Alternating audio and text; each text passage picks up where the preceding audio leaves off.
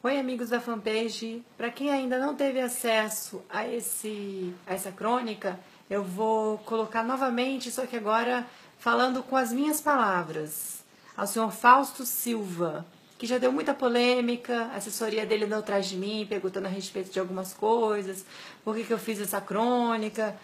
É, porque eu quero dar voz a quem não tem. É o que eu realmente penso. Porque Fausto Silva resolve colocar na televisão brasileira nomear pessoas guerreiras que na verdade não são guerreiras. Você uma atitude numa situação ou outra é uma coisa. Eu não estou aqui para julgar ninguém. Eu estou aqui para ser uma jornalista opinativa. Esta é uma opinião de uma jornalista. E eu não sou teleguiada por emissora nenhuma. Guerreira, senhor Fausto Silva. A Tami Gretchen? A TV aberta no Brasil é uma vergonha mesmo.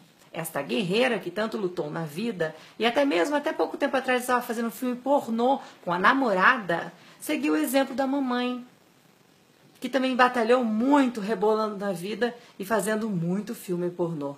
Só para lembrar, seu Fausto Silva, guerreiros são a classe trabalhadora desse Brasil. São os motoristas. Dá para entender? São as mulheres que lutam contra um câncer de mama e não tiram seu ser em vão.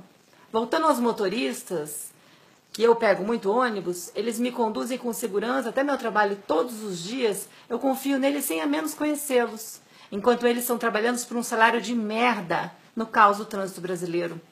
Você está aí colocando lixo na TV brasileira e o povo não merece isso. Guerreiros são os professores que lutam diariamente para tentar dar um ensino de qualidade nas escolas, ganhando uma berreca e ainda sendo agredidos enquanto sugadores de cérebro, como o senhor Fausto Silva, enriquecem, enchendo a cabecinha das pessoas e das nossas crianças com estrume em poucas horas de domingo.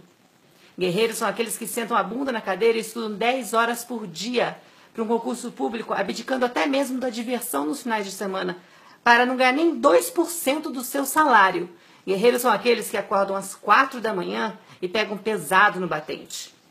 Voltam de ônibus lotado e chegam em casa às 8 horas da noite. Guerreiros são aqueles que acordam e vão para dentro do lixão para conseguir algum material reciclável para sustentar a família. Guerreiros são aqueles que vivem em ambientes sem a mínima condição de higiene e saúde, sonhando em ter a mesma vida mansa que o senhor e mais de 80% dos políticos brasileiros e outros mais têm. Mas mesmo assim, buscam de forma digna driblar os caminhos difíceis da vida. Aprenda que guerreiro não é qualquer idiota que você ou o senhor Pedro Bial disseminam na TV aberta. Esse texto é meu, Fabiane Vasconcelos, e eu agradeço muito o apoio que todos vocês deram para mim. Muito obrigada, compartilhem, porque agora eu dei a cara para bater.